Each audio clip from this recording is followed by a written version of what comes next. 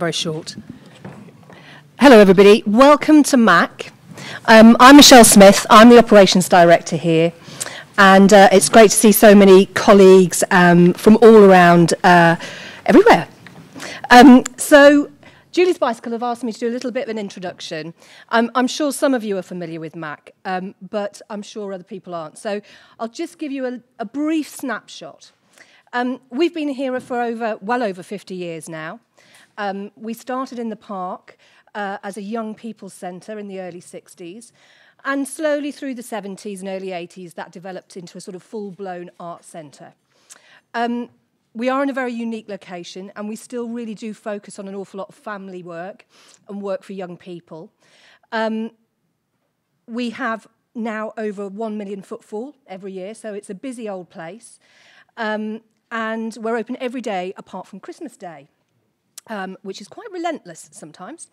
Um, we're doing some tours later for people who want to look, look around in a bit more detail, but I, I always try and describe this building as a TARDIS. Um, nothing's enormous within the building, but there's an awful lot of spaces.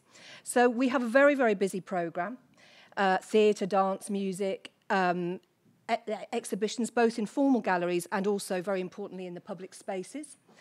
Um, we have a vast learning and participation program, which is quite often quite hidden away, but in the term time, there's 140 courses every week. Um, and then we have summer schools, and we have also quite a, a wide range of free workshops in the public spaces. Um, as I'm sure many of you do, we also run our own commercial trading company, um, which helps support the, the, the charity and the arts work that we do. Um, so that's all our catering and conferencing and hires and retail. Um, after many failed attempts, um, and the building really was falling apart about 12 years ago, um, we finally managed to put together a £15 million uh, capital project. We couldn't afford to knock the whole thing down and rebuild.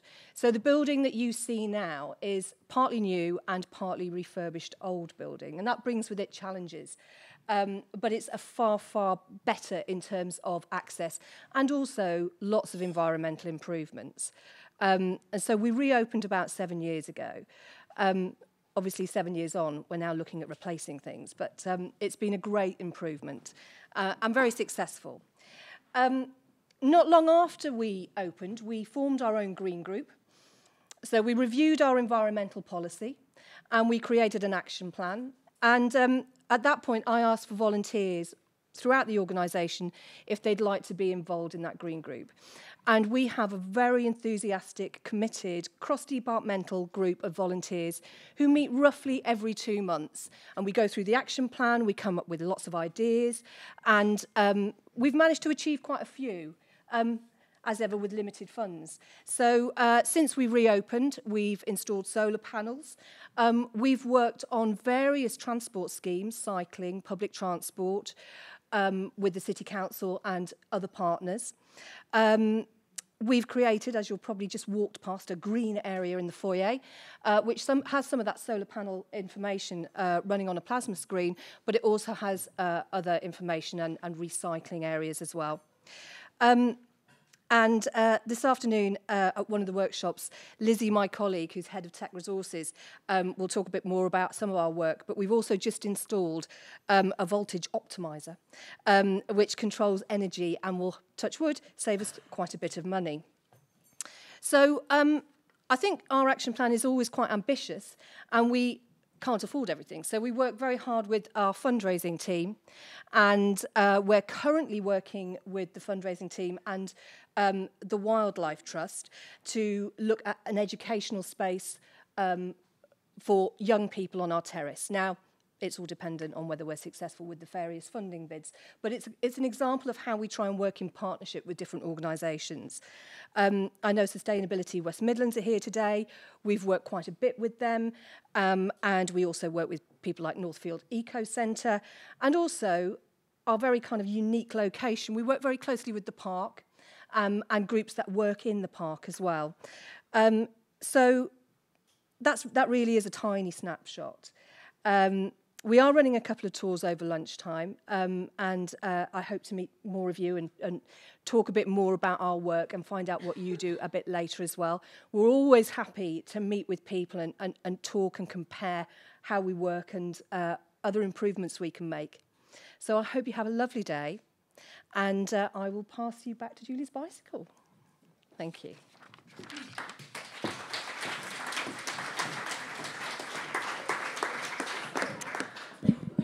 Thank you to Michelle for that great welcome. Um, welcome to Mac Birmingham. Welcome to this Julie's Bicycle event, and also welcome to everyone who's watching on the live stream. Um, this is just a reminder that the event is being live streamed as well, and as part of that, we are also live subtitling it. So, for any speakers, um, just as a reminder, speak slowly and into the microphones um, so that the subtitlers can pick it up. Um, just uh, as a quick bit of housekeeping, there are no fire alarms or anything like that scheduled for today. So if one does go off, um, then I would ask you to make your way calmly towards the exit. Um, our closest fire exit is out the doors towards the right. Um, there are a couple of MAC event stewards who will be around to help us with that as well. If anyone does need the loos, there are some just outside here to the right. Um, and anything else, please ask me or anyone else of the Julie's Bicycle staff who are dotted about or any of the MAC um, Birmingham staff. Um, also, I'd like to just pass on apologies from Alison, who is our founder, um, who is sadly unable to join us today. Um, but you get me instead. So, hi, my name is Kiara. Um, I work at Julie's Bicycle. Um, and the reason we're here today is that two years ago, Arts Council England asked us to pull together some guidance for organisations embarking on capital development projects um, to support, especially organisations applying for funding through their large and small capital grants programme um, on how they could better embed environmental sustainability into their projects.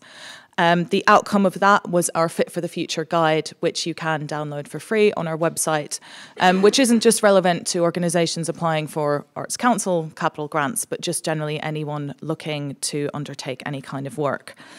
Um, last year, we then partnered with the Fit for the Future network for an event at the Lyric Hammersmith in London to talk just about cultural buildings and capital development for an entire day.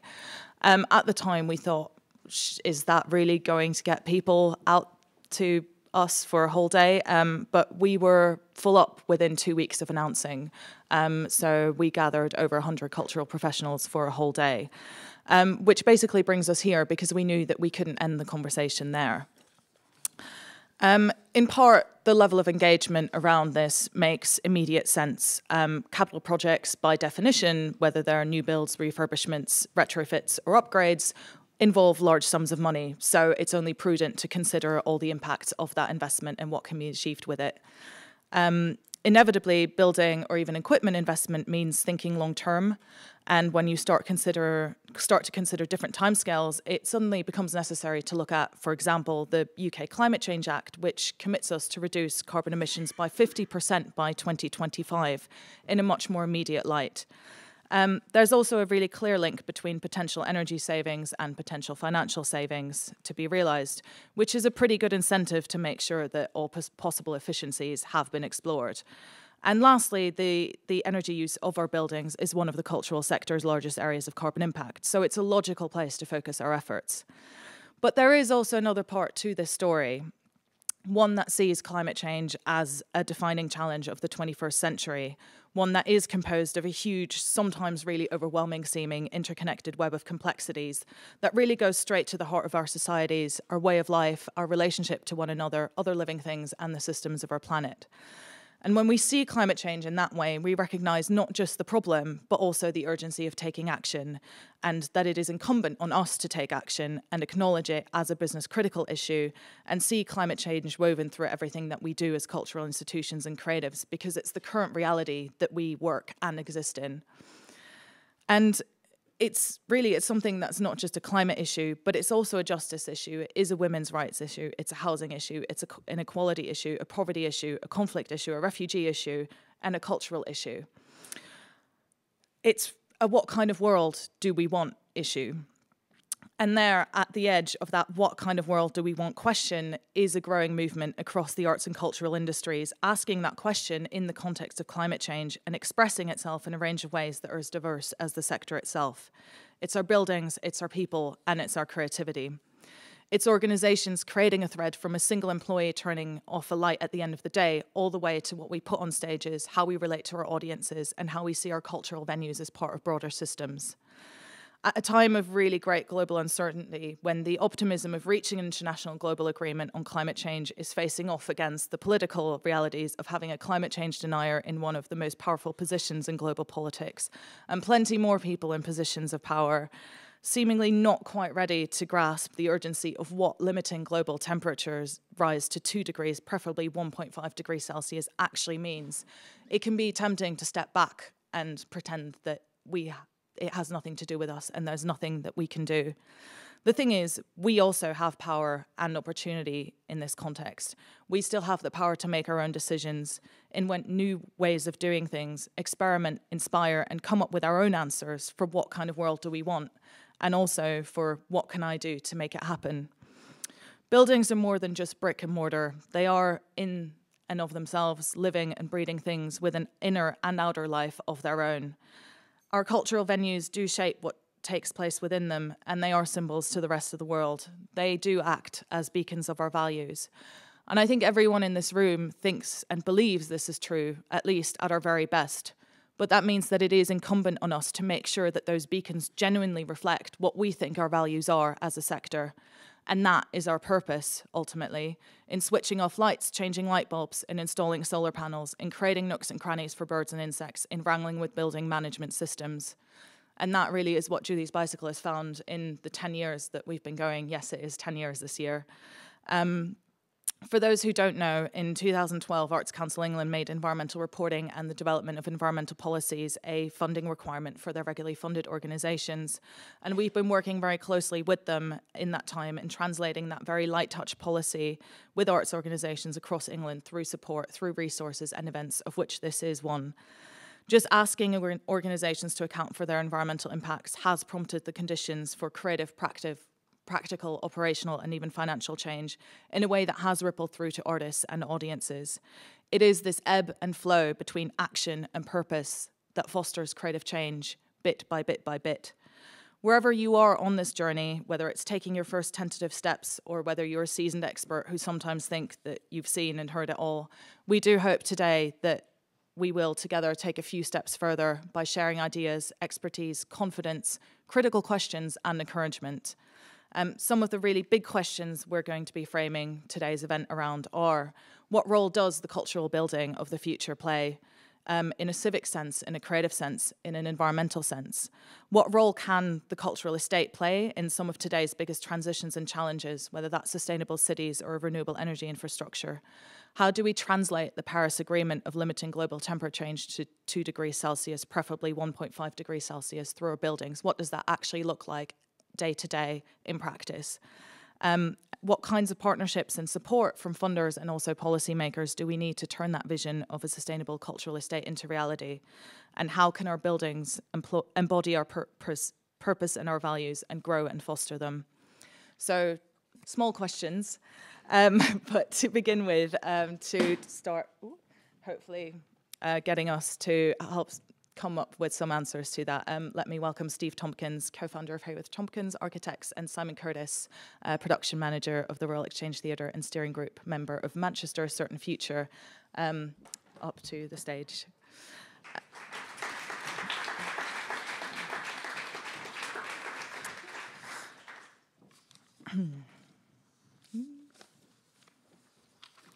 um, so, just to give a really brief introduction, although he may or may not need one, um, Steve Tompkins is a founding director of Haworth Tompkins Architects. Um, he has been kind enough to come join us today.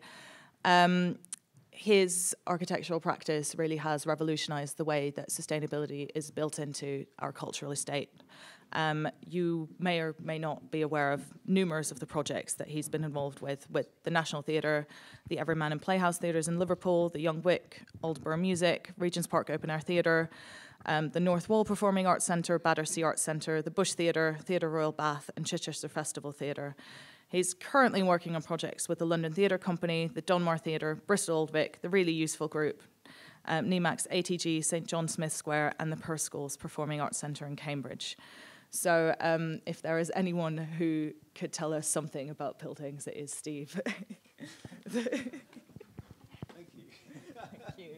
Um, yeah, just, just go on there. Okay, fine, thanks. Sure.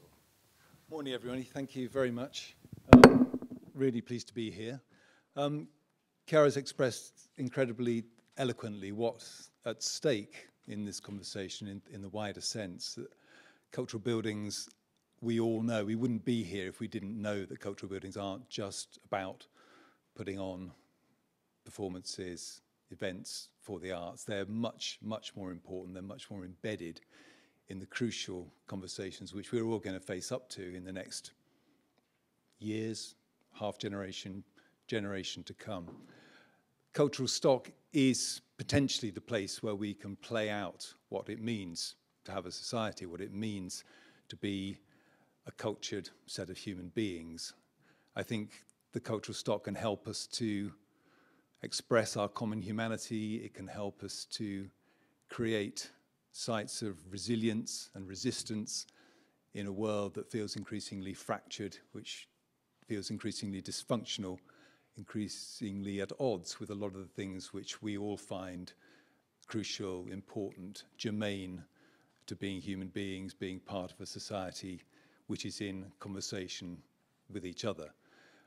So cultural buildings are, I think, one of the key sites where we can start to talk about a different sort of future for our society as well as for the arts. And sustainability is a huge part of that. Sustainable cultural buildings, there are two aspects to that, aren't there? One is what we mean by cultural buildings. What do they do? What are they for? How do they work? How do they join up? Sustainability, I think, is of course not just about energy, but it, that is important. Part of the problem I think we've had in the last few years is that the definition of sustainability has probably been too narrow. Certainly for architects and design teams and people procuring buildings, BREEAM, whatever, excellent, outstanding, has been the thing which guides a lot of our thinking. If we're interested in sustainability, if we want funding, if we want local authorities to buy into the projects which we're doing, that can sometimes be the be all and end all. The problem with that is that sometimes the little homemade venue built by volunteer labour couldn't afford double glazing, but it's packed out every night, it's got a real buzz, it's embedded in cultural memory in the processes of a local population. It's far more effective than a huge purpose-built hangar. Yes, it's BREEAM outstanding. Yes, it's super insulated. Yes, it's enormous. And by the, the metric of kilowatts per square meter, which is how building sustainability is often couched, the big hangar, which is not fit for purpose, therefore empty, therefore unused, therefore unheated, is going to score top marks against the tiny venue, which pisses energy. Everybody loves it. It's packed out every night. It's in everybody's forefront of everybody's minds when they think about having a good time, when they think about being part of their local community, their local society. It's what arts venues crave when they err towards found spaces, which are packed with layers and layers of micro narratives and prehistories, as opposed to the new venue which many arts organisations walk into and they're frankly bewildered and dismayed because the signal that comes off those buildings is corporate, is monetized, is consumerist and manipulative. So something has gone wrong in the past with the way we procure our cultural stock. It's become a sort of arms race of gimmicks, of new formal tricks, of how we can lever more and more money out of trust foundations, local authorities, and government funding organisations. It can't carry on like that, and I think it's changing. I, I've seen a huge amount of change in the time that we've been building buildings over the last 20 years or so. I think there's a much more intelligent dialogue being brought to bear, and part of that is about taking the time to understand, to be in conversation, to actually get to the point where we know that we are spending money, resources, and energy to maximum effect. Um, my metric for that um, is joy per kilowatt. And by joy, I mean all the things that Kiara's been talking about. I don't just mean entertainment, of course. I mean cultural value, depth, the things that are germane to culture. And kilowatts, I mean carbon, energy, resource expenditure. So what if we think about joy per kilowatt as a metric for cultural buildings, as opposed to pounds per square metre, kilowatts per hour, etc., etc. The two things are crucial. Yes, we need sustainable buildings. Yes, we need to bring down our cost of use. Yes, we need to bring down embodied energy of our new buildings. Yes, we need to think about whole life cycle costings. But more importantly than all of that is when we spend energy and resources, are we getting the density of cultural result that we're looking for? So I think there are a number of strategies for that. There is no single strategy for building the perfect sustainable cultural venue. Everybody will have their own conversation and circumstances. I just want to offer some observations in what's left of, of 10 minutes to get a conversation started, really. So it's, in a way, it's a little aid memoir about strategies. So, small fabrications. You know, this is a temporary building, part of a much bigger 10 year reimagining of the National Theatre, which we don't really have time to talk about much, but I just wanted to mention that the shed was transformative of that project in so many ways. It was there for a couple of years, but it transformed the National's view of itself as an organisation. It transformed the way that audiences appreciate the building, the way the audiences had a way in to what can sometimes seem an impenetrable, hermetic, potentially elitist institution. It opened the doors. It allowed a different language and a different sensibility to infiltrate the building. And it allowed Rufus and um, Ben Power and, and, and their teams to express a different proposition to the cultural community and to the public at large. Tiny thing made out of wood, put together with four by twos and sort of Travis Perkins insulating panels, nothing at all sophisticated, about the way it was built, except that we wanted it to be off-grid, we wanted it to be completely naturally ventilated, hence the form of the building, which also, of course, has cultural um, and um, semiotic purpose. And the fact that this building expresses its, its purpose is also a, in, a, a rather a, um, an intriguing, rather laconic sculptural form. It does interesting things. It, it has a cultural voice of its own, and the interior, very simple, setting up interesting conversations, commandeering found space of the foyers. This is an external terrace which we just boxed in temporarily. And of course, crucially, it has a performance space at the heart of it where we felt really truthful conversations and transactions could take place between performers and audiences. Um, I think Rufus coined the phrase um, the honesty box for this space, which I, I think is, is, is a very true definition of it.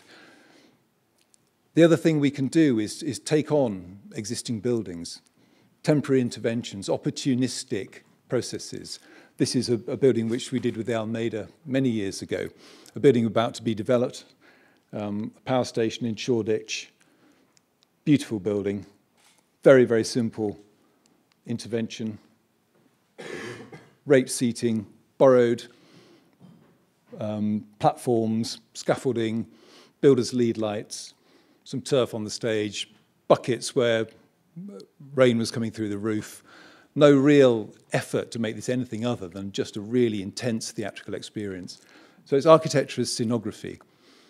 But in doing that, it created a real buzz. It sold out for a whole season. It remapped people's perception of that area. So apart from the event itself, it was able to change a perception of a neighbourhood. And likewise, a year later in King's Cross, um, a less prepossessing starting point of a building, an old bus garage. But again, by using the, the language of scenography and set building and by commandeering the help of production teams, we were able to make a space very, very cheaply. Nobody would ever design this space permanently because it's kind of bonkers. It's too low, it's too wide, it's, it's, it's too everything compared with conventional wisdom. But it set up a fantastic year of events. And again, it changed the psychological map of the area. So very small interventions were able to deliver huge changes, both within the organisation and within the neighbourhood and the community which it was serving. We borrowed turf to cover the roof with, and we gave it back after a year from the, from the turf company. Um, and it created this beautiful, intriguing exterior. The interior was just built by production crews, um, no real contractor involved in the fit out, which means that the interior is the result of a whole set of really interesting relationships, apart from everything else, which then went on to build the sets and the shows throughout the season. So there's a connectivity between the process of making the architecture and the process of making the work. And I think that disjunct is something which often is a cause of, of real stress and strife between the construction industry and the arts um, professions. Sometimes the answer is not to adapt to your own home, but simply to move. And architects and design teams need to get involved in those upstream processes just as much as, as in the nuts and bolts of design. The Bush, we helped to move, we helped to find a, a new building, we were involved in conversations with the local authority, identifying an old library, very, very simply converting with a kind of improvisational process. The audience were involved, we invited them in to come and draw on the building, to sit down and take tea with us, work out what it was that they really wanted, and we ended up homemaking a lot of this interior. It was built for about £700,000 all in this project, the first phase, and we're now completing a second phase. So by actually commandeering those processes of homemade, DIY, conversation as opposed to professional process, I think we got a much more interesting result. And certainly for the bush, we got a space which was far more suited to their identity. Architecture doesn't have to be visible. Sometimes I think it is just the reordering of the beauty and poetry of an existing found space. Snape Maltings um, on the Suffolk coast, beautiful, elegiac, poetic space. Some old buildings which we converted to concert hall and music use. The primary decision on this project was to do almost nothing visible, but simply to reorder the spaces, make them legal, curate the found material, drop in one new room in the centre of the plan, but that's all. And so the finished building almost looks like an empty found space. The point of this building was the, was the poetry and the quality of the landscape and the relationship with the existing architecture. So it doesn't need to be bling, it doesn't need to be a logo, It doesn't need to be the something or the something when the building is finished. It can just be beautiful, permissive, eloquent space. And I, and I think that's something that architects need to find their humility around building cultural buildings. Often the answer is to be almost invisible and for your presence to be almost indiscernible. The odd intervention here, and this was the new interior, talking to the landscape, using very simple materials. Occasionally there's the, the moment to just do something which has presence. This is an old dovecot um, ruin which we dropped a single studio into for a single performer um, to make work and as a, a live workspace as well, looking out over the marshes. So just simple, straightforward, small scale things can actually be much more effective much more eloquent than spending a huge amount of money um, on sophisticated messaging and marketing. We found that at the Young Vic, um, an organisation which is hugely loved, massively invested in culturally, and very important in the, in the cultural memory of, it, of its neighbourhood. Instead of knocking it down, we rebuilt, we regrew a new building around the old butcher's shop and the auditorium.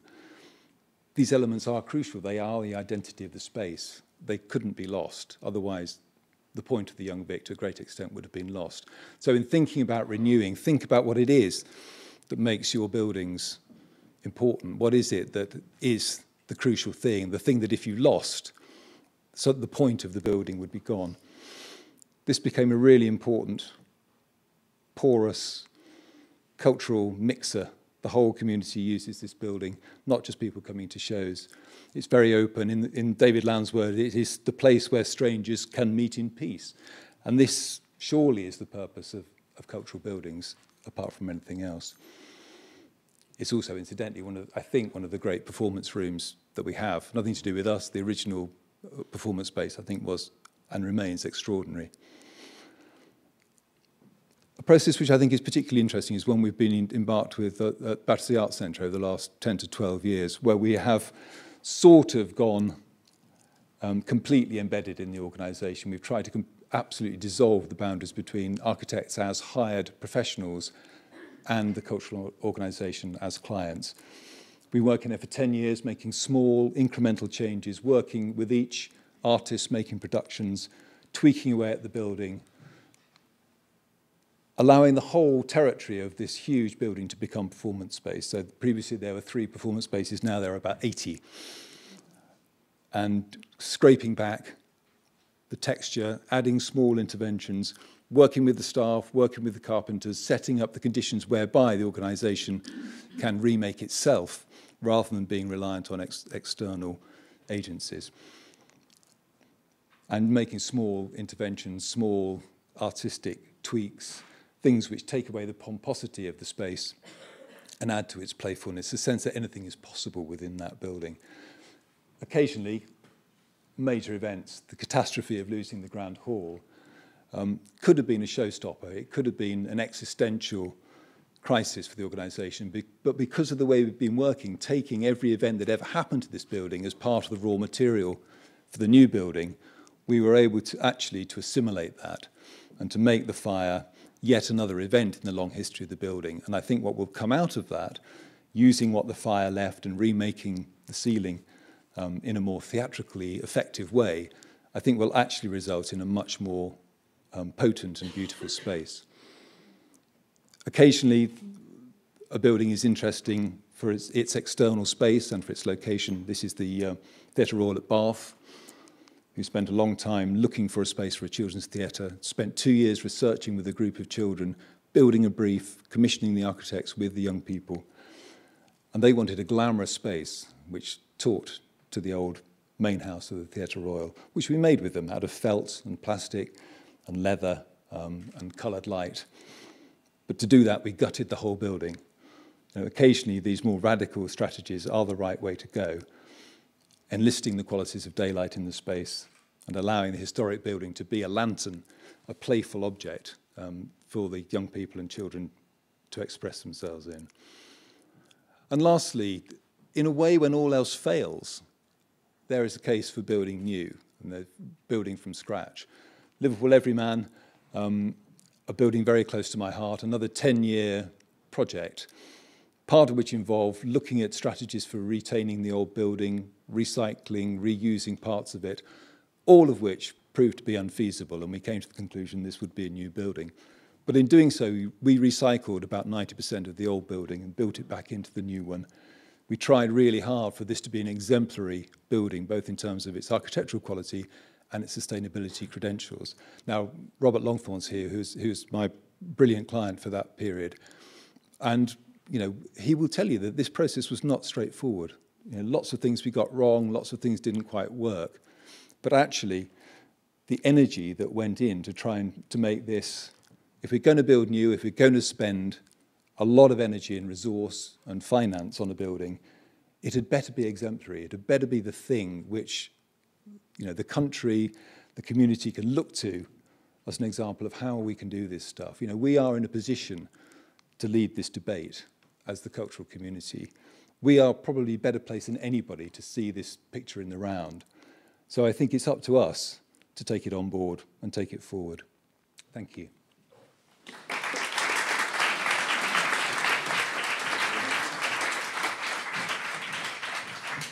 Thank you for that, Steve. Um, coming up next is Simon Curtis. He is head of production at Royal Exchange Theatre. Um, he's worked in theatre and event production for 20 years, um, and he is also on the steering group um, for the Manchester Climate Change Agency.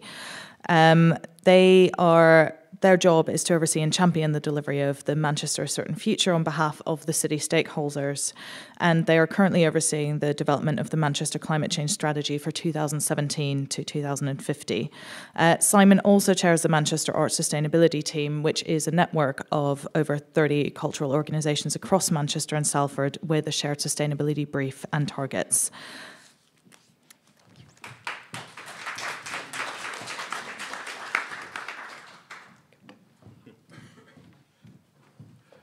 Thanks. Good morning. Good afternoon. Um, uh, yeah, so I'm head of production at the Royal Exchange Theatre. Uh, that's where we'll start the story. It's an organisation with an £8 million turnover. Uh, it gets two thirds of its money uh, from income, the other third from public subsidy. Um, this year, we're expecting half a million people to visit our building, and about 200,000 of them will buy, buy a ticket. Uh, I joined the theatre about 10 years ago, just over 10 years ago, 2006, as their production manager. And uh, obviously, clutching my job description, one of the things that I had to do was chair the Health and Safety Committee. Uh, so I did, and we talked health and safety. But um, what was what came out of that meeting was that the people around that table actually wanted to talk about our environmental impact. Back then, it was one of the few meetings uh, in the theatre that involved people from all areas at all different levels. So the Royal Exchange's green journey was started, I imagine, in much the same way as a lot of people, uh, uh, as a lot of people here, um, and we just kind of got on and did some things. And there's lots of ways we made a difference, but perhaps the biggest story was around our, or biggest story is around our electricity usage. We now, in our main building, use 41.5% less electricity than uh, the 2006 levels. This is the equivalent of 440 uh, UK homes coming down to 229, and that's based uh, not on those with economy 7 like me, where it's boiling at night and freezing uh, when you come in from work. Uh, the reduction on that scale was only really made possible by some capital uh, intervention, voltage optimization that we've already heard about for, for, for the Mac, and some, some LED lighting systems. Now we have £67,000 a year, uh, which we're happily spending on our programme or uh, our keeping our heritage building operating.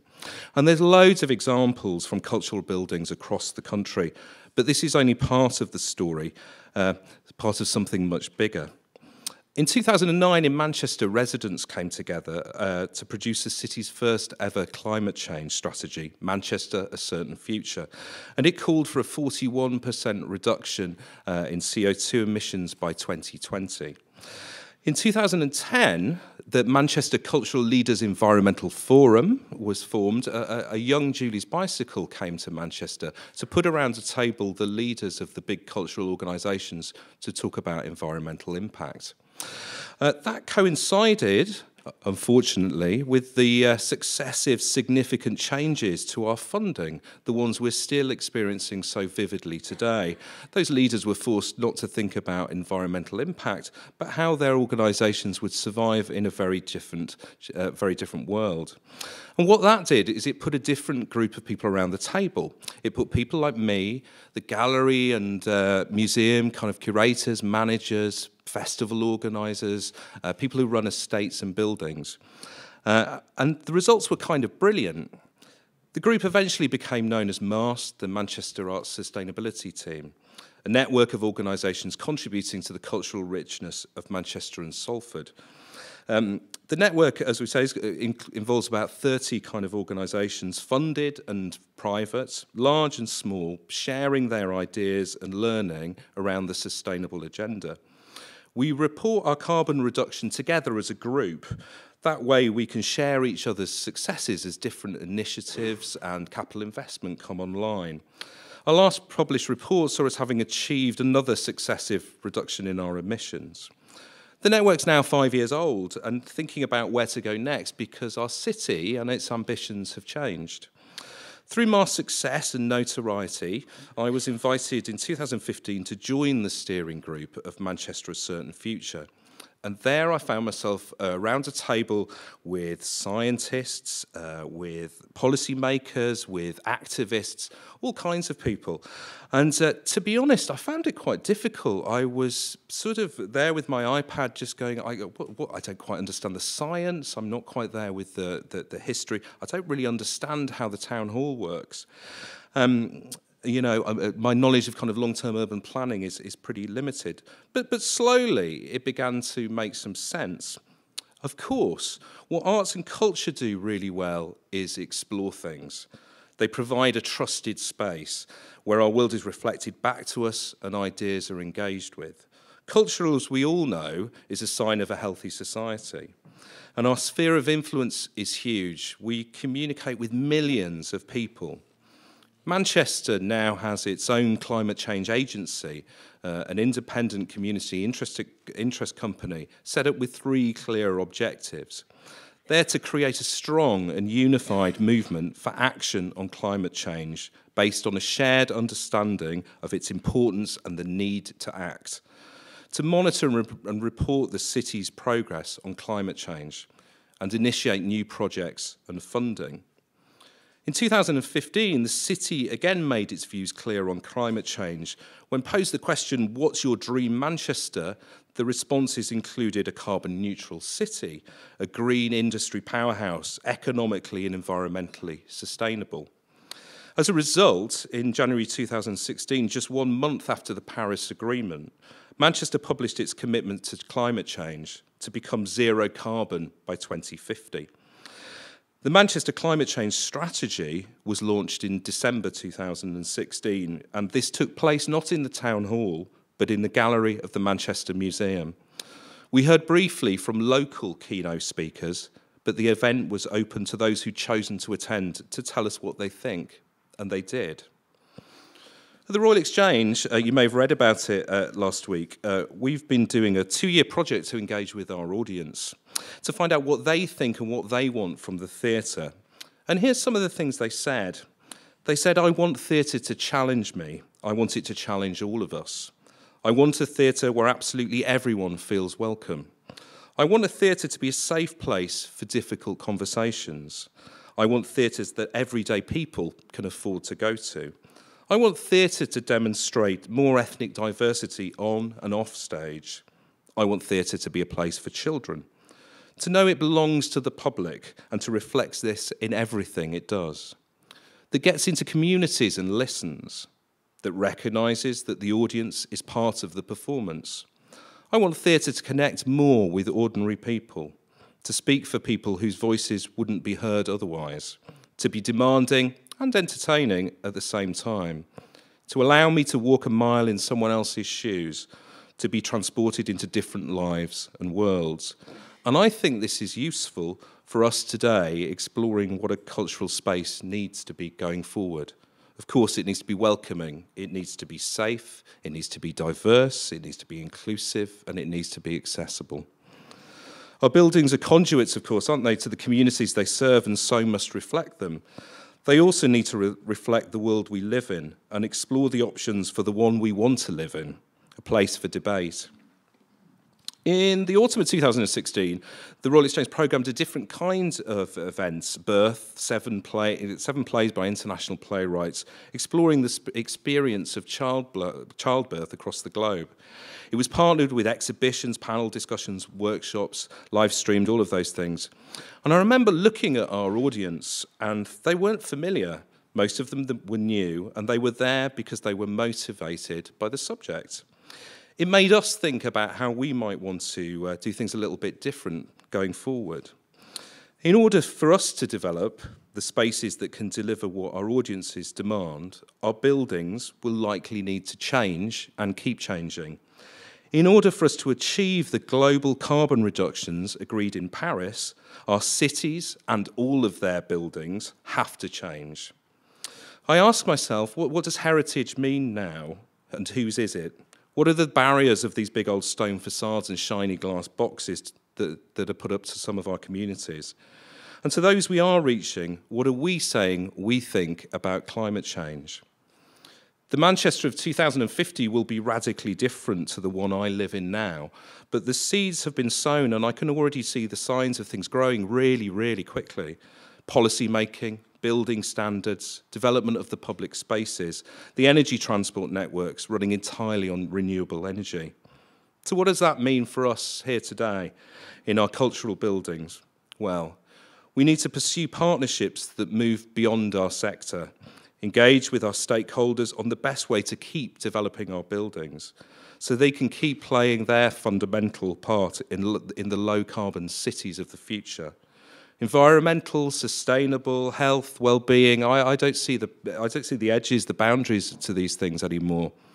And for us, we need to be advocates, showing that uh, it can be done and it is being done, and inspiring others to make even bigger and bolder choices for our future. We need to be informing policy and, most of all, taking action. Manchester has come a long way since it gave birth to the Industrial Revolution. Its streets are a far, cry from the choking smog that you see in these horrendous Victorian pictures that hang in Manchester Art Gallery. Um, it's come away a long way in the last decade, and the next three are going to be really exciting. In, you know, in 2050, I'm going to be 77. I'm maybe living in the sea. Uh, sorry, maybe living in the city, or maybe I'll go to the seaside. I'm going to take a view on that. Um, whether I'll still be visiting Manchester and the Royal Exchange, I don't know. Uh, but, if, but if I am, this is what I think I'd like to see. I'd like to see a green city full of interesting public spaces and things to engage with. A city full of healthy looking people who come from all over the world. And when I walk into the theatre, I'm struck with what a vibrant, thriving meeting place it is. That everyone there feels like they own it and choose to engage with all kinds of activity that makes them want to think and connect a place where everyone has travelled by carbon neutral methods, a place that draws all of its energy from local networks of renewable sources, a place where artists, participants, and theatre makers realise their work in ways that ensure there's no detrimental effect on any environment in any part of the world, a place where every raw material used won't cause pollution, a place where our responsibilities to each other and our world are continually interrogated. Perhaps most of all, I'd like to see a building in a city that has an abundance of cultural spaces and where everyone is incredibly proud of what they did to ensure that global temperature rises were limited to one and a half degrees. Thanks.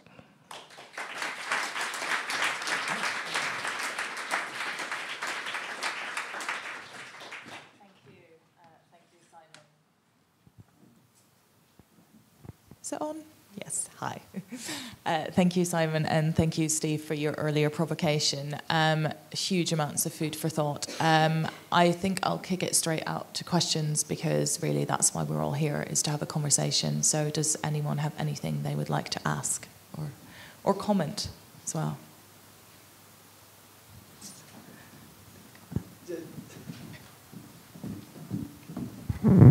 As a 70 year old man from, uh, from the black stuff from, from Manchester, I'd like to thank Simon for, uh, for, for, if you like, taking us, giving us that optimism of uh, you know, your position as somebody who ostensibly arranged the furniture, so to speak, within the exchange, but, but to you know, the optimism that you now see and you know, your desire to go back to Manchester. I go back fr- frequently. Uh, I love the Whitworth, which is uh, the gallery within the park. Maria Balshaw is, uh, you know, has taken that democratic spirit about Birmingham because Manchester is a democratic capital of this country, I, I would uh, deign to say. Uh, Birmingham and London are just sort of struggling for a second city place, you know, no, no sort of thing. And it's not because of the, uh, the, the capital, you know, which is um, you know, uh, raising more value or, or whatever in Manchester, um, you know, which is now like Birmingham, Birmingham's fifth uh, ahead of London in terms of uh, capital city prices, you know, uh, places to build homes and whatever. But, uh, but I do think, you know, that culture starts exactly where uh, Steve was, was saying in, in all of those small uh, surprising secret places. And, you know, so just thanks for a wonderful start to, uh, to the day. Oh, sorry, uh, I should say I'm, uh, I'm from Cannon Hill Park, and, uh, but uh, so whilst I'm fortunate to have the uh, handle at Cannon Hill Park. You can find us on Twitter. Um, but our, our, tagline is People's Park. And I should say that I also worked in a previous life for very small collective that used to put on the Green Show at the NEC, and we, we still uh, exist as Climate Change Solutions. So I'm still involved with climate change.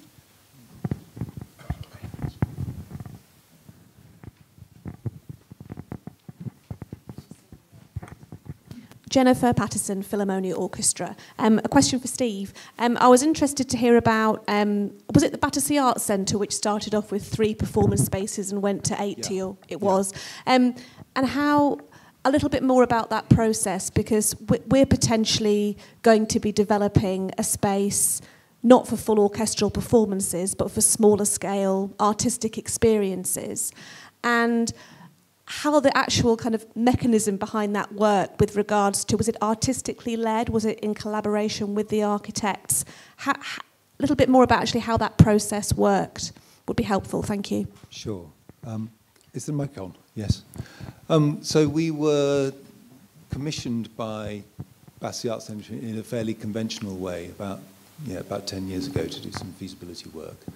Um, and it's that sort of feasibility study which is kind of a bit open-ended and nobody's quite sure what a feasibility study is um, from the client side and the architects can feasibility study can sort of be anything anything you want actually. What, what what it is is just an opening conversation and beginning of a of a creative relationship if if, if you're lucky. And BAC as as you know are, are predicated around the idea of scratch which is sort of improvisationary process of, of developing work and we, David Jubb, um, the artistic director there, and, and myself, came up with the idea that we could perhaps try and make a capital project in the same way that a performance is made at BAC, in, in that we would spend several layers of improvisation and conversation before we committed to the final thing. Um, and it's great because, like you know, like we often say, dialogue is carbon neutral. It's the, the problem is when you start building. and so if, if you can talk for as long as possible and as deeply and as creatively and to as great a purpose as possible, often it becomes clear what the, the thing to do is. And often that thing is not the, th the thing that you both thought was going to happen at the start of, of the study. So what we were able to do, in, encouraged by BAC's ethos, was to just keep any kind of solution, any physical solution in peripheral vision and just think around what the building was as a, an environment for performance. And we were lucky in that um, Punchdrunk were about to do a big show at BAC called um, Masque the Red Death, where they commandeered the whole building as a performance environment as part of their immersive process, which kind of pushed everything else in the building to, to the edges and into the nooks and crannies. You know, the office went up into the attic and the workshops had to kind of busk somewhere else. And, you know, so the whole building suddenly became this performance space. And I think that through that process, which I was sort of involved in, in trying to, um, to work with Felix Barrett and David Jubb with the architecture, opening up architecture and creating connections where they didn't exist before, making the building street legal in terms of fire, safety, all that, all that stuff that stops you doing interesting stuff um, quite quickly into the process if you're not careful. We, we, we made all those things happen. So we made the whole building available, both physically and conceptually, as a performance space. So what used to be a corridor or a broom cupboard was suddenly an auditorium, as it, as it were. And as soon as we made that leap, then the building became this kind of rainforest of possibilities because it's such a rich building, it's so huge. And what, what was a problem in that there's just too much back of house space, not enough, not enough conventional auditoria, became an amazing opportunity. So it, it meant that we could still use the conventional performance spaces as such, but we could bring much more interesting and, and diverse work in, into the smaller spaces. And we began to see the architectural process as just another production, which could be programmed in the same way as, as, as the building was programmed by the central team. So we stop thinking of ourselves as architects and clients, i.e. suppliers and consumers, i.e. active and passive, you know, all those things which kind of trip up the dialogue in, in, in these projects. And we started just to think of ourselves as artists. And not only that, we said, let's, what happens if we treat everybody as an artist that's involved in this process, from the building control officer through to the health and safety people to Historic England, conservation officers to the local community. Let's invite them all to express themselves and be um, respected as creative voices. And it was amazing, just, just that simple thing, that sort of change of headset from you're not going to be the person that is coming to us with a problem or a moan. You're actually the, the person that's coming to us with a creative idea and a recollection of the building which will frame it in a really beautiful and interesting way that none of us had access to in the past because we weren't there when that person was 15 years old and had this experience in that building, etc., etc. And, and it was genuinely amazing how, how people reacted, and, and it, it streamlined the whole process and got, got a head of steam going, which is still going on now. So, you know, there, there are moments where we said, okay, we, we've, we've gathered raw material, we're now ready to do what feels like a more conventional capital project. You know, let's frame that, let's spend some millions of pounds, you know, particularly after the Grand Hall. You know, that was a particular event, but there were others. There were two or three moments like that where we spent money and we behaved like a conventional building project. But they were kind of, they were kind of stopping points in a, in a constantly evolving process. And the way we see that project is that it doesn't actually ever stop. The fact that the architects are more or less involved at any given time doesn't mean the project is over. And I, I think that that's another important thing about cultural projects now is that, that you know, they never, they've, they've never, there's never a point where they've started and they've stopped. They're just in constant evolutionary slower or quicker motion, just, just as the program and the life of the organization is. So don't, don't think about the capital project as something which you kind of grit your teeth, tense your stomach muscles, and, and it's over as soon as possible, and you come out of it with as little agony as you can. It's some, something which ideally is, is to be welcomed and as, as part of another creative process which is happening within the organisation. That was a really long answer, I'm sorry.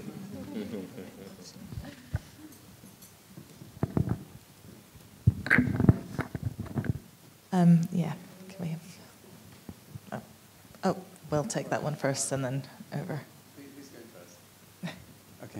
Um, I'm Dave Everett. I'm um, working at the Institute of Energy and Sustainable Development at De Montfort University, and we've just started a spin-off company uh, working with the NUS um, on raising awareness of energy use amongst students in halls of residence. And I'm quite interested in how arts organisations um, running a series of buildings might be able to engage not only their, um, well, their users in general, but the staff and the audiences and visiting companies in the awareness of um, energy saving initiatives and in the awareness of how they personally use energy in their own lives and in their public lives, in their public engagement.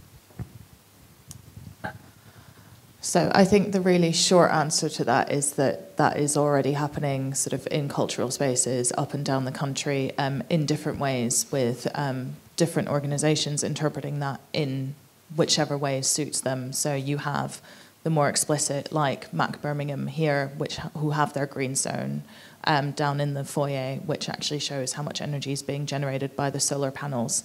Um, and in other in other organisations, it's much more subtle than, than that because of the way that um, sustainability has really been integrated into buildings. It's it's not sort of in your face. It, it permeates as a feeling. Um, but I don't know if either of you want to add something. I think maybe you, Simon, particularly. Yeah, I think a lot of the a lot of the MAST members publicise kind of uh, publicise their environmental policy and practice and what they do with energy uh, publicly on their websites. And I, I, I, think that it's something that we need to do more of. I think we need to it, we need to kind of embrace the the fact that of course it's public money. Of course we need to be of course we need to be doing that. But probably talk about it a bit more openly. There's some great examples of stuff already happening. Some you know phenomenal things that organisations are doing. Uh, uh, not everyone's talking about it, and, and and I think a lot more people do need to talk about it. There's actually an example that I've just come to mind thinking of Battersea Arts Centre as well, because I know the green team there, one of the sort of, they almost use a scratch process for their green team as well. And I know that one of the ideas they came up with was because the building is so huge and it takes so much energy to heat it, to try and keep their bills down, they started putting blanket boxes actually in some of the public spaces so that people knew why it was kind of cool, um, but that they could still feel comfortable there. And also, one of the other ideas they started thinking about is uh, bodies generate heat. So, actually, how can we make, especially some of these empty spaces, feel much more new so that people actually linger? And in that way, we can almost leech off the body heat of the people coming through our building. just, just one thing to add to that is one of the ideas that we came up with with Battersea was to have a weather forecast um, for the production as, as part of the digital um, online presence to say, well, you know, if you come to this performance, at this time of the year, you can expect the temperature to be such and such, and that would be anything from like 14 degrees up to 28 degrees. And so, you know, if you're, if you're going outdoors, then you will dress according to the temperature, and that's a perfectly reasonable range of temperature. It is only cultural custom and practice that means once you come into the doors of a building, you feel like you have to take your clothes off, at which point you feel too cold, or you've got too many clothes on, in which case you feel too hot. So it's, it's just a slightly different mindset to say, well, let's, let's pretend we're not indoors, so then everybody's kind of happy. Um, and, and the building can operate within far looser temperature parameters. Um, and as long as people feel communicated with and there's a sense of expectation, people have been able to prepare for that, there's something actually quite nice about that. Um, it's interesting to see an audience where you can see everybody's breath in the auditorium. It's actually quite atmospheric, saves on haze. right, I know we had. Um, hang on, was there the other questions? Can we take one here? Oh.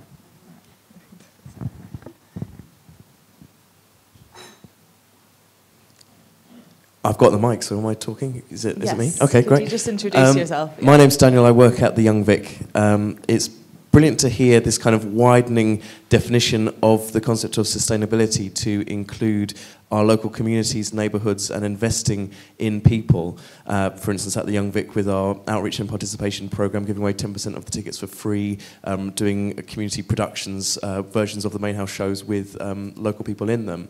And I know that other theatres represented here and mentioned already uh, do similar work.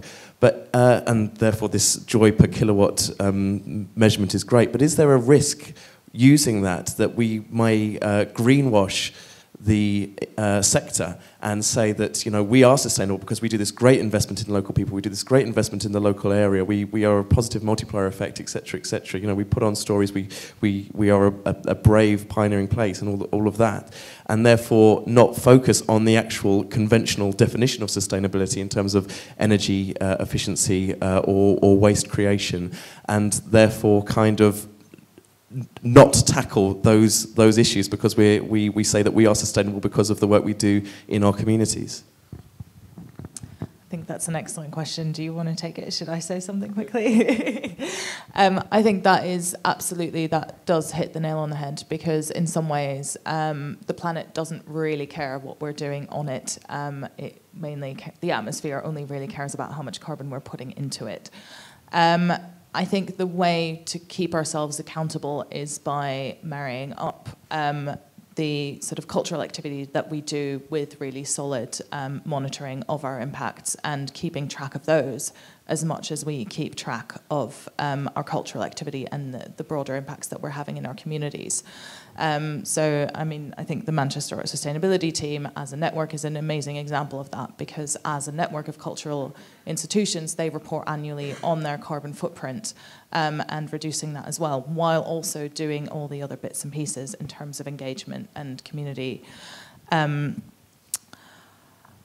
I think within that, though, um, it is also important to remember that sometimes um, as Steve sort of started off with, the standards aren't going to tell us everything because, again, the standards are constructed as a one size fits all. So sometimes, again, the, the, measure of kilowatt hour per meter squared is not that meaningful when you have a load of extra meter squareds that you're not particularly using a lot of extra floor space. So that a huge building that isn't fit for the purpose that of what we need it to do as a cultural space um, that is also in and of itself wasting energy, even if it might be using energy quite efficiently. So, I mean, I think it's it's it's a constant conversation, and I think it is really important to be asking ourselves that question at every corner. It's being remaining critical, um, and continuing the conversation at every opportunity that we have. I think the um, I think the discourse has changed, but the hard fact is that we need to cut our carbon emissions, um, and we need to cut them now, and we need to keep cutting them. But the more um, the more we look at, I think, sustainability, and the more we vision the future that we want to live in, the more exciting the more exciting it gets. Um, and the, uh, as I was saying earlier, kind of the, the, the boundaries are less defined at the, uh, at the moment, uh, uh, less defined, I guess, than they've ever been. but, but also at the heart of it has got to be um, low carbon technology and low carbon cities. But the more you join all of this together, the more exciting it gets. Yeah, and I think there's also, you know, the other danger is a, a sort of reductive approach to energy, which ends in the conclusion that if there was no cultural sector at all, we'd save quite a lot of energy because all those buildings wouldn't be using up kilowatts. So that you know that's that can't be the answer. The, you know, the cultural sector is about enfranchising society at large to understand, to raise awareness, to actually be motivated, to, to feel there's something worth fighting for, surely. That, that collectively is, is, is part of what we're all trying to do, I think. And if we can balance that with a responsible attitude to, to the way we expend energy in the process, I think that's what I was trying to get at. So it is, it is both and. The best cultural buildings are going to be exemplars of, of low energy and resource use, both embodied energy in their making, which nobody takes any account of at the moment in the metrics, in their ongoing use and in, and in their recyclability at the, at the end of their lives when that comes. Again, which the metrics take no account of. So, so our measure is reductive at the moment. It, it is too quantitative. It doesn't take account of both of the wider issues of, of quantifiable data, but equally it doesn't take account of cultural effectiveness. So, you know, what is the voltage of, of, of the building as, as, as well as its resistance, as it were? Can we get one? Lauren? This gentleman here has been hand up for a long time. Could you just say um, your name and your organisation as well? Thanks. Uh, hi, uh, my name is Sagar Samaria. Um, my organisation is uh, Sow Grow and Reap. My interest is, um, in terms of research, it's natural fibres, like um, not sort of like um, sort of natural materials like rock, but more bio-based materials. And when I've been to various conferences about building, then um, the materials that we tend to look at in sort of the northern hemisphere is more like the concrete, the steel, and the timber. When I then speak to people from South America or Far East Asia or the southern hemisphere, then they're sort of reminiscing the bio-based materials like bamboo. When I have these conversations with the people from Far East, they say, yeah, it's, it's, it's been there for millennia um, people in, in the West is just like, you, you, you're crazy, you can't build something out of bamboo. It's, um, it's just for that silly scaffolding people just run up and down for. My, my question is, is that in, in an attempt to be all eco-friendly and using tech, are we missing a beat by um, sort of relinquishing the stuff that is the old school, the natural, the traditional, and just to give an example, something which is a bit close to home in Wales, you've got the very good example of the CAT Centre, um, which, okay, I said China, I said South America, but this is literally almost down the road in Wales, and they've done something there. But are we missing a beat by, by not um, going backwards a bit as well? Thank you. I think you're you're absolutely right, and um, it is interesting because there is a huge architectural movement. Um, I don't know, Steve can probably talk even more about it, but um, also in Africa, looking at you know all more passive forms of building um, and how those work, because in many ways our civilization has built up a particular culture of how we make buildings that is very much suited to the environments that they have been in. Um, which means that quite often less technology can be more effective than loading a building full of various systems that maybe no one knows how to use. I'm sure that will come up again as a topic later on today. Um, yeah, so I think the challenge within that sometimes is. Um, I think Steve touched on this very well. Is what kinds of skills and knowledge do we also have to develop to develop as arts institutions to have much more intelligent conversations with the construction sector. Um, do we need, how do we work with contractors in that space? Um, one example that comes to mind is um, a venue in East London called Village Underground, and they needed to soundproof their roof. And every acoustician they spoke to said, you need to chuck loads and loads of concrete onto this roof to build a sufficiently dense sound barrier for you to be able to do what you want in this space. And um, the owner did not let up, and he went around and around until he found an acoustician who went, you can do this with a living roof with a certain amount of soil as long as that soil stays irrigated. So the only time they've had a, a, a, noise complaint in the past few years since they've done this is once when the batteries on the irrigation system ran out and the soil dried out. But you know, it's that took the effort from him going, I do not want to put a massive layer of concrete onto the roof of my building to solve this problem, even though everyone is telling me that that is the accepted solution and that is the only thing I can do. But I want to come up with something else. So, um, yeah, it's not easy, but I think it's something to push towards. Um, yeah, I, I, couldn't agree more. I, I think the, the, the next generation is going to rediscover uh, natural materials in a big way. I think it's already happening. It's happening in academia. Um, it's happening amongst a lot of young design practices, happening amongst a lot of um, cultural organisations. The, the sticking point is the custom and practice of the construction industry and the way it's set up, and also the building economics.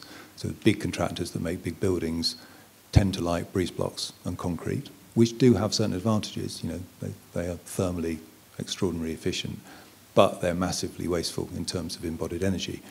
Um, so again, it's, something which doesn't get picked up on the radar when a building is getting screened um, for energy in use, for example. But um, the example of a, a living roof, the Almeida King's Cross project, which I showed you, that was exactly why we did that. Uh, we couldn't afford to use heavyweight sound insulation. We couldn't afford to cool the building mechanically, so we so we used turf, which does both. So it, it creates a, a, soft mat against rain noise, um, it, and it provides passive cooling um, to the building as a whole. And it's a kind of art installation for free as a, as a kind of byproduct. So I, I think strategies like that, particularly around timber construction, it is, are getting better, they're getting more efficient, they're getting more mainstream, um, particularly around cross-laminated timber, um, which is you know, it has got its issues, but it's sight better than concrete in almost every way. And I think we're acquiring the skills to do that. And I would say that every, every new build project should start off thinking, why isn't this building made out of zero carbon um, materials um, as the first question. And there may be a really good answer to that. It might be economic, it might be technical, but that's the first question and that's the starting point, I'd say.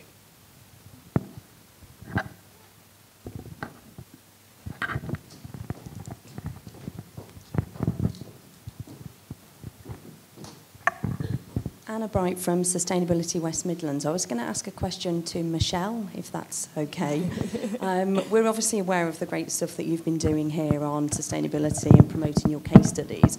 I just wonder how you will try and maintain the momentum given the council funding cuts that you will receive. Yeah, it, um, yes, some of you may be aware we're, we're um, one of many uh, facing quite a hefty cut at the moment. Um, and I think um, I talked briefly about the voltage optimizer, and we're looking at decisions like that um, to help us save money. And we're looking at different ways we can um, expand our work. Um, that's both artistic and commercial um, to try and bridge some of those gaps. Longer term, we also kind of have expansion dreams and they are dreams at the moment. Um, and because we, we are actually bursting at the seams now. So um, I talked about the, the amount of work that takes place in the building, um, and we're running out of space. Um, so I think that we are looking that in the longer term, um, hopefully, uh, in terms of expansion to, to um, make us sustainable. And less, far less reliant on that funding.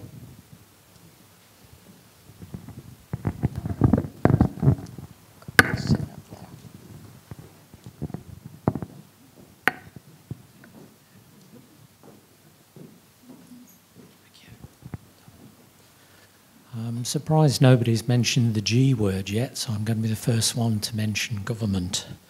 Um, do you feel that the government has missed a trick when it first rolled out uh, environmental initiatives such as photovoltaic panels to businesses and homes across the UK, uh, which originally offered good financial incentives, uh, but did nothing about its large government and local authority buildings, including museums, art galleries, and theatres.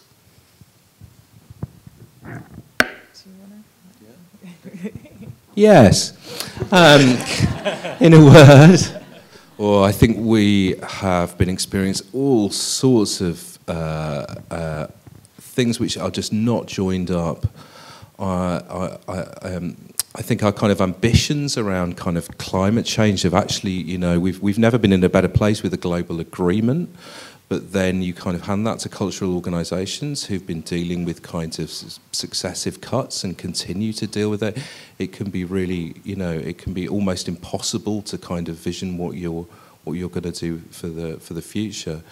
And and I suspect going forward, you know, with the with the global situation, you know, we're we're we're also going to have to kind of really hold our direction if we if we want to make if we want to make a difference. It would be very easy to be sidetracked by you know by by other governments who don't who don't think this is important as perhaps we do, as perhaps we do. But yeah in a word yes i think it's it's time to kind of join everything it's time to join everything up.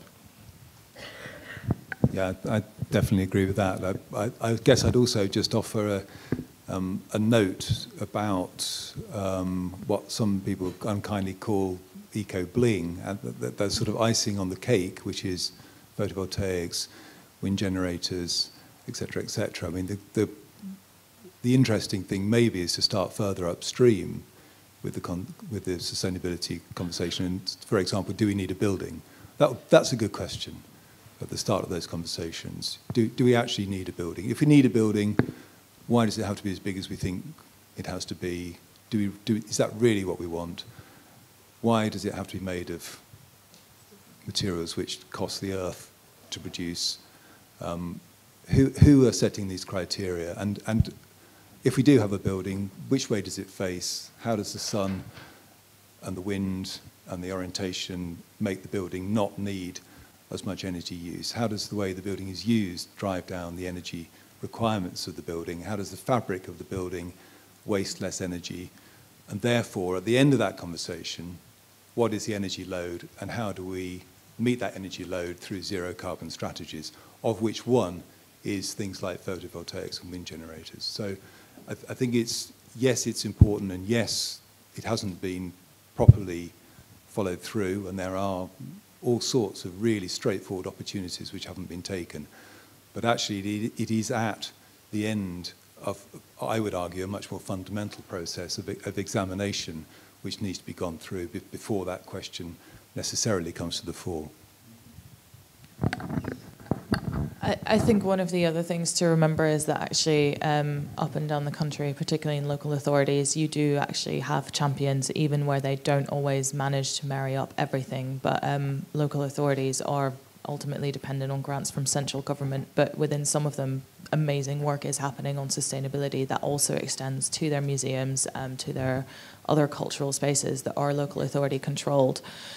Is there a lack of join up uh, in green policy in this country? Absolutely, there is, especially over the past few years. Um, sometimes I think. Uh, more cynically so. Uh, sometimes I think accidentally so.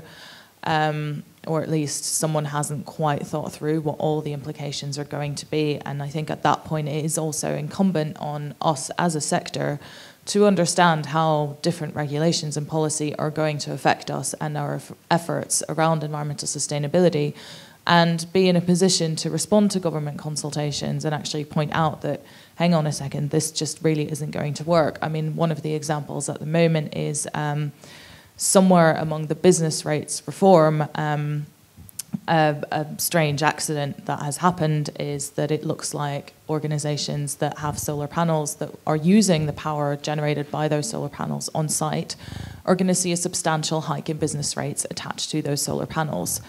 Um, not those that export the power generated back to the grid, though. But so within that now, um, you know, it is there is a, a, huge response coming from the solar industry, but also from um, environmental NGOs and also from business and industry, where organisations are saying, "Hang on a second, we installed these solar panels based on a particular calculation." And to be honest, a business rate rise specifically for my solar panels was really not in there. So can you please revisit this? And there is a general consensus that it's probably more accident than, than it's been done on purpose, but someone just sort of missed out a loophole. We'll see where it goes, but um, I think, yeah, it's, it is incumbent on us as a sector as well to, to keep on top of some of this legislation and talk up and speak up um, when it seems to interfere with, with some of the work that we're trying to do. One more thing to add, um, uh, just for my knowledge in Manchester, uh, we have the Manchester Leaders Forum. I'm probably going to slightly misquote their title, but they're really kind of that, they're in charge of the city strategy, and they've published their strategy to, to, to 2025. And an astounding amount of uh, their aims and goals are directly linked to climate change, or you can directly link to them. So that it, things are moving pretty pretty quickly, I'd, I'd, I'd say, but also they, they, they do need to move quicker. Thanks. Um, we probably just have time for those two questions and then we'll wrap up for lunch. Thank you. Um, Stephanie from Nottingham Playhouse. Um, it's, it's, kind of a similar point about um, working with your local government, working with local authorities. They may not be moving at the same pace that you want to move at as a venue, or they might be moving faster than you're moving as a venue. It doesn't actually matter as long as you can find the person or people or document or policy or something that you could latch onto. Um, I think we'd all say that you, that you can find that way in. Um, and I think it's really important that we don't beat people up because they're not as far advanced as we are. Uh, or, or they don't do the same to us. You know, sometimes it doesn't happen nearly so much now, but there was a while ago, five or six years ago, there was a definite kind of, I know what this means, I know what that means, I'm going to drop it into every conversation. And actually, it's very off-putting for people who know they should know more but don't. Um, and so you just you just find your like-minded people and try and forge ahead with them. And if you can find out more from some other source, then you can help educate them in the nicest way without wanting to um, appear to be one-upmanship with it.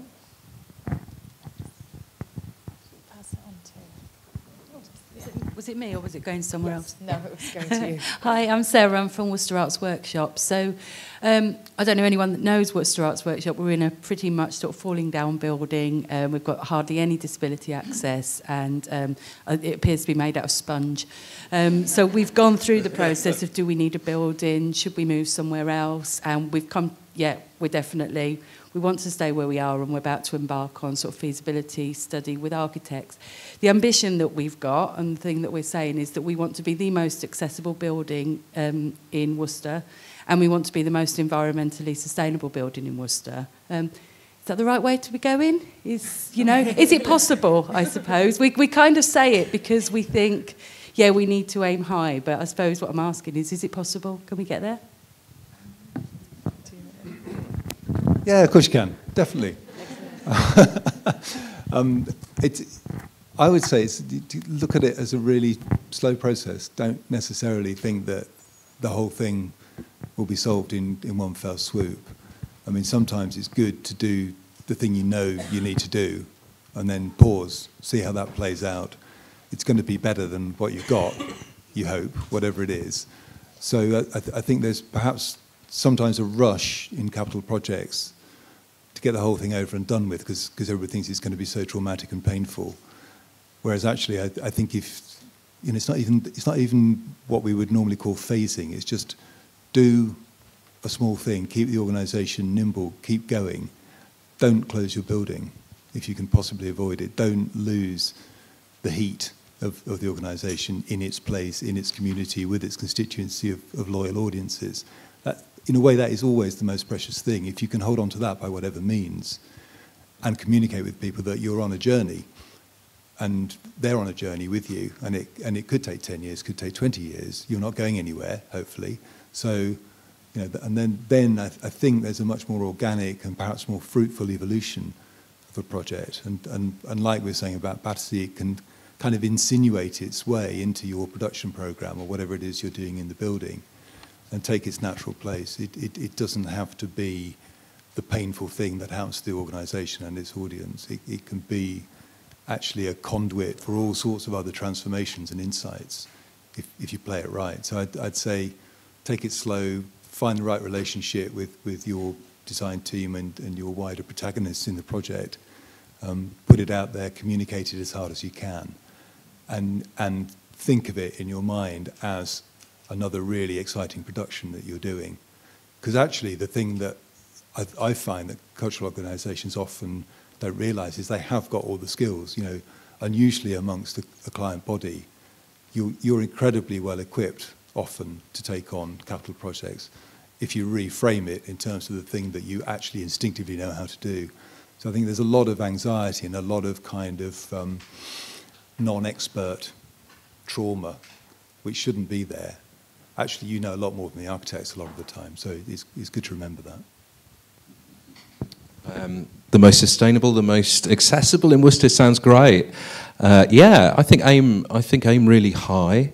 I think also um, uh, your building will have to keep changing. It might well be 20 years before there's another pot of money. Our world in 20 years is going to be incredibly different. I think aim as high as you possibly can now because it's going to pay you so many dividends and us so many dividends going forward.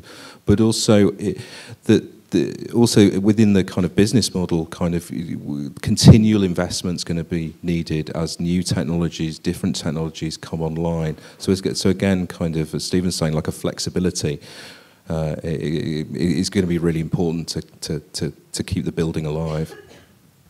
Maybe I should just clarify one thing because it might sound like those two bits of advice are opposite. Um, aim, aim high and think big, and have and have the overarching narrative but don't necessarily be tempted to try and do it all in one bite. So secure the direction of travel. Let everybody who's giving you the money understand that this is going to lead to a really extraordinary transformation. But if you can take it slow, which means you can trim at each stage and get them get the maximum maximum joy per kilowatt actually is, is, is what you're trying to do. And to take it a stage at a time is going to help that.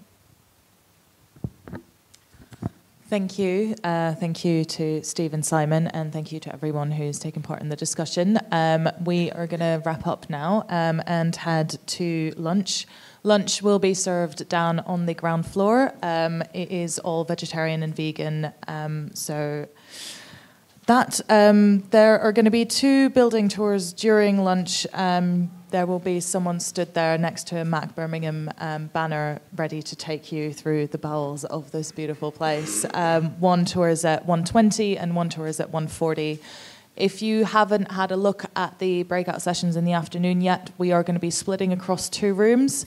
Um, so please go check out our registration. For the smaller room, you do actually have to sign up for it because we're trying to keep numbers down.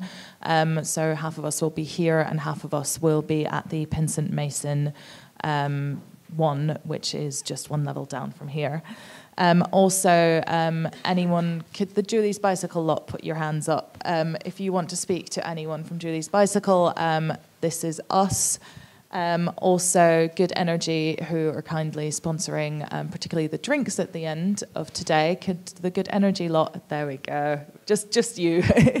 um, if anyone wants to speak to Good Energy, um, that's your your man there. Um, and also Sustainability West Midlands for anyone who is based um, around here. Great. Uh, yes. Um, so, anyone who is leaving us extremely early, please do fill out a feedback form at registration. But for now, um, enjoy lunch and we'll see you all back at two o'clock. Thank you.